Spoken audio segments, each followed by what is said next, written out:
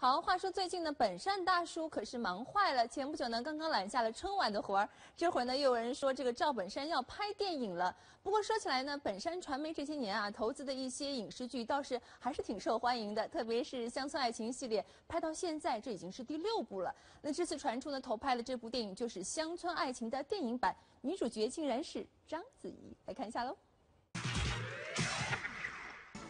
一个是拥有全国最多数量观众的喜剧大师，我叫白云，我叫黑土；一个是电影领域具有国际知名度的女演员。你来，我等着。当赵本山遇上章子怡，会擦出什么火花？最近这两个看似不搭嘎的大明星被联系到了一起。九月三号一早，赵本山新片选定章子怡的新闻标题疯传网络。报道称，赵本山将和章子怡合拍一部名为《乡村爱情之洛杉矶奇遇记》的电影，剧组将在明年春节之后开机。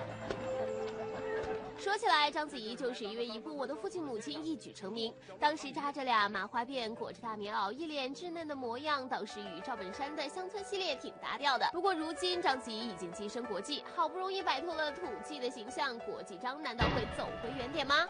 有新天地记者也立刻向双方求证，赵本山和章子怡方面均未做出回应。不过很快，本山传媒副总裁刘双平出面澄清说，消息不靠谱。看来电影是否能成型，还得走着瞧。翻看两人资料，其实赵本山和章子怡的交集是少之又少，很大的原因还是那部拍了好几年的《一代宗师》。